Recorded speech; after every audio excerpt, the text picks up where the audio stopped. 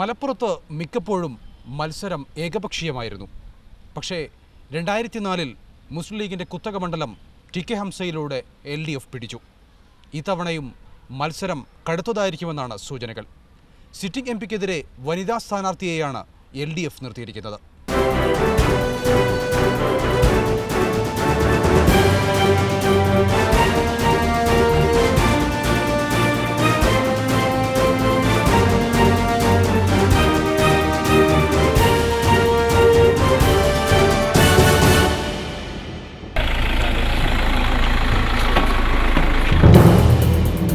കേന്ദ്ര വിദേശകാര്യ സഹമന്ത്രി മാനവ വിഭവശേഷി റെയിൽവേ വകുപ്പുകൾ നേരത്തെ വഹിച്ചു. ഏറ്റവും കൂടുതൽ ദിവസം കേന്ദ്രമന്ത്രിയായ കേരള റെക്കോർഡ് തൊണ്ണൂറ്റിയൊന്ന് മുതൽ തുടർച്ചയായി ലോക്സഭാംഗം അതിനു മുമ്പ് കേരളത്തിന്റെ വ്യവസായ മന്ത്രി. അറുപത്തിയേഴ് മുതൽ തൊണ്ണൂറ്റിയൊന്ന് വരെ തുടർച്ചയായി നിയമസഭയിൽ. തിരഞ്ഞെടുപ്പിൽ ഇതുവരെ പരാജയമറിയാത്ത ഇ അഹമ്മദാണ് ഇത്തവണയും മലപ്പുറത്തെ യു ഡി എഫ് സ്ഥാനാർത്ഥി.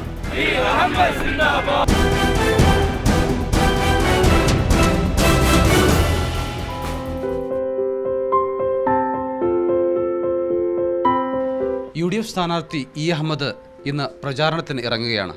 രാവിലെ എട്ട് മണിക്ക് തന്നെ പ്രചാരണ രംഗത്തേക്ക് അദ്ദേഹം ഇറങ്ങിത്തിരിക്കുകയാണ്. ഇന്ന് എവിടെയാണ്? ഇന്ന് പെരിന്തൽമണ്ണ നിയോജകമണ്ഡലമാണ് രാവിലെ ഇങ്ങനെ പ്രചരണത്തിനായി ഇറങ്ങുന്ന സമയത്ത് മനസ്സിൽ എന്താണ് ഉണ്ടാവുക? മനസ്സിലെന്താണ് പരിപാടികളെല്ലാം വേഗം പൂർത്തിയാക്കി പൂർത്തിയാക്കണം. അത് പരിപാടികൾ തയ്യാറാക്കിയിട്ടുണ്ട്. ആ പരിപാടികൾ മുഴുവനും പൂർത്തിയാക്കുക. അത് തന്നെയാണ് മനസ്സിലുള്ളത്. ഓരോ ദിവസവും തിരിച്ചെത്തുമ്പോൾ അടുത്ത ദിവസം കുറച്ചുകൂടി നന്നാക്കണം എന്നൊക്കെ തോന്നും അത് എല്ലാ ദിവസവും നന്നാക്കണം തോന്നുന്നില്ല. അത് ജീവിതത്തിൽ എല്ലായ്പ്പോഴും ഉള്ളതല്ലേ? ഓരോ ദിവസവും ഇമ്പ്രൂവ് ചെയ്യാനുള്ളത് അത് തിരഞ്ഞെടുപ്പിൽ മാത്രമല്ലല്ലോ. ജീവിതത്തിൽ തന്നെ ഒരു ഒരു ഒരു ഉദ്ദേശമാണല്ലോ. തിരഞ്ഞെടുപ്പ് സ്വാഭാവികമായിട്ടും ഉണ്ടാവും.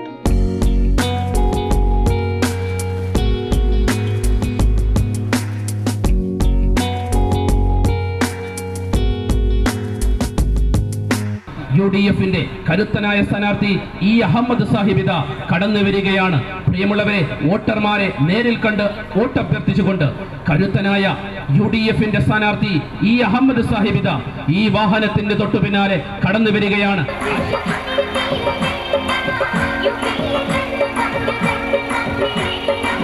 നമ്മുടെ രാജ്യത്തെ സംബന്ധിച്ചിടത്തോളം അതിപ്രധാനമായ ഒരു സംഭവവികാസമാണ് ഈ വരാൻ പോകുന്ന പാർലമെന്റ് തെരഞ്ഞെടുപ്പ്. സ്ഥലം എം എൽ എ ആയ മന്ത്രി മഞ്ഞളാം കുഴിയാലിയാണ് പെരിന്തൽമണ്ണ മണ്ഡലത്തിലെ പ്രചാരണത്തിന്റെ ചുക്കാൻ പിടിച്ചത്.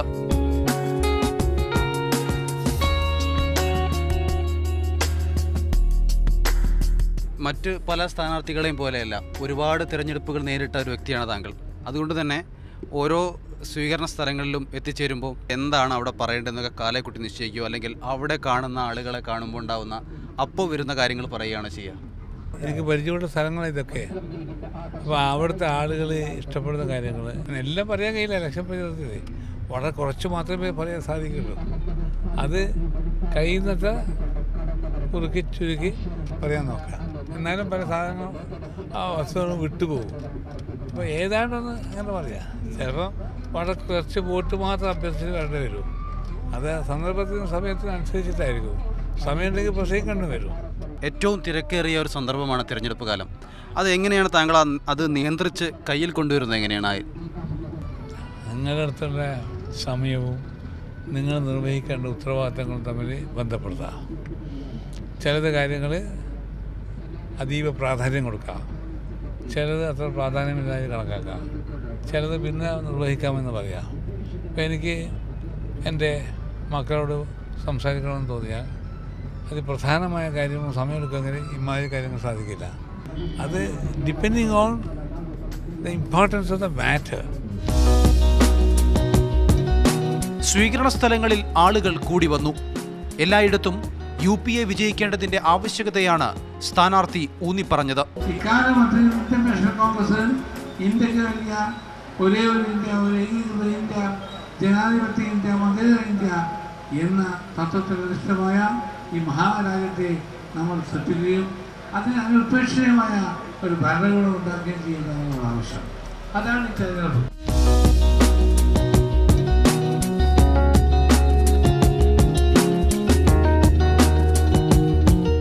കാണുമ്പോഴേ ഇപ്പോൾ അവരെ വിഷ് ചെയ്യുമ്പോഴൊക്കെ ചില ആളുകൾ വന്ന് കെട്ടിപ്പിടിക്കും ചില ആളുകൾ വന്ന് കൈ തരും ചില ആളുകൾ വെറുതെ ഒന്ന് കാണിച്ചു എന്ന് കാണിക്കും. അപ്പോൾ ഇവരിലൊക്കെ ആരൊക്കെ വോട്ട് ചെയ്യും എന്നുള്ളൊരു മനക്കണക്ക് ഉണ്ടാവാറുണ്ടോ? നിങ്ങൾ പറയുന്നത് മനസ്സിലാക്കണമെങ്കിൽ ഹൃദയ ഫോട്ടോ എടുക്കേണ്ടി വരും. ഞാനിതുവരെ കണ്ടിടത്തോളം ആളുകളുടെ സൗഹൃദവും ആളുകളുടെ സ്നേഹവും മറ്റൊക്കെ പോസിറ്റീവായിട്ടേ വന്നത്. അത് നെഗറ്റീവായിട്ടില്ല. ഇവ ഒന്നും പറയില്ലാത്തതുകൊണ്ട് വോട്ട് ചെയ്യില്ല എന്ന് വിചാരിക്കണ്ട. ചെയ്യും. അത് ഒരാളുടെ സ്വഭാവവിശേഷവുമായിട്ടും കൂടി ബന്ധപ്പെട്ടതാണ്. കാപട്യം കാണിക്കാൻ വേണ്ടി മാത്രം അഭിനയിക്കുന്ന ആളുകൾ അത് ലിമിറ്റുണ്ട്. അവർ പിന്നെ എല്ലാ ഭാഗത്തും അതുപോലെ തന്നെ പെരുമാറും. അങ്ങനെയുള്ള ആളുകളല്ലേ നോക്കേണ്ടത്. ജില്ലയിൽ നേരത്തെ യു ഡി എഫിൽ ലീഗും കോൺഗ്രസും തമ്മിൽ ചില പ്രശ്നങ്ങളുണ്ടായിരുന്നു. ലീഗിൽ പലയിടത്തായി ചില പ്രശ്നങ്ങളുണ്ടായിരുന്നു. അതെല്ലാം ഇപ്പോൾ തീർന്നു? ഇപ്പം അങ്ങനത്തെ ഒന്നുമില്ല ഇപ്പം കോൺഗ്രസ് ലീഗ് യു ഡി എഫാണ് യു ഡി എഫിലാണ് യു ഡി എഫിൽ ഒന്നിച്ച് മുന്നോട്ട് പോവുകയാണ് ശരിക്കും കഴിഞ്ഞ തവണത്തെക്കാളും ഭൂരിപക്ഷം കിട്ടുമെന്നുള്ളൊരു ആത്മവിശ്വാസമുണ്ടോ? എനിക്കുണ്ട്. പക്ഷേ ഞാൻ ആദ്യം എല്ലാ ഇലക്ഷനും ഞാൻ പറയുന്നത് വോട്ടർമാർ വോട്ട് തന്നാൽ അത് നിങ്ങൾക്ക് വിധിയെഴുത്താണ്. പക്ഷേ ആളുകളുടെ പെരുമാറ്റവും അവരുടെ കാഴ്ചപ്പാടും അവരുടെ രീതി മനസ്സിലാക്കിയ വോട്ട് കൂടുതൽ കിട്ടാൻ എന്തുകൊണ്ടും അവസരമുണ്ടെന്നാണ് ഞാൻ മനസ്സിലാക്കുന്നത്. ഇടയ്ക്കൊരു കല്യാണ സദസ്സിലേക്ക് മണവാളൻ തന്നെ സ്ഥാനാർത്ഥിയെ സ്വീകരിച്ചു. പ്രചാരണം ഏലംകുളത്തെത്തിയപ്പോൾ ഒരു പ്രധാന കാര്യം പ്രവർത്തകർ സ്ഥാനാർത്ഥിയുടെ ശ്രദ്ധയിൽപ്പെടുത്തി. ഇ എം എസിന്റെ ഏലംകുളം മനയിലും സ്ഥാനാർത്ഥി എത്തി.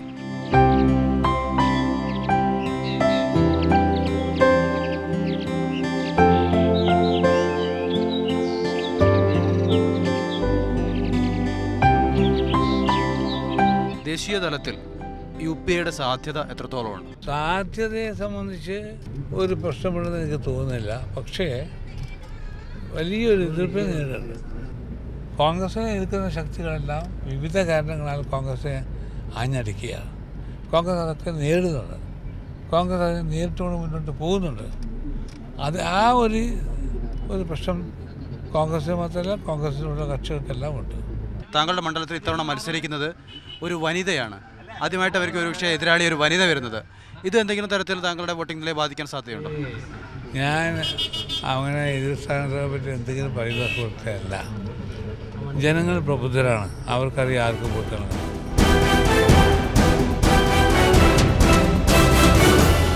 തികഞ്ഞ ആത്മവിശ്വാസത്തോടെ യു ഡി എഫ് സ്ഥാനാർത്ഥി ഇ അഹമ്മദിന്റെ പ്രചാരണം തുടരുകയാണ്. ഇനി എൽ ഡി എഫ് സ്ഥാനാർത്ഥി പി കെ സേനബയെ കാണാം.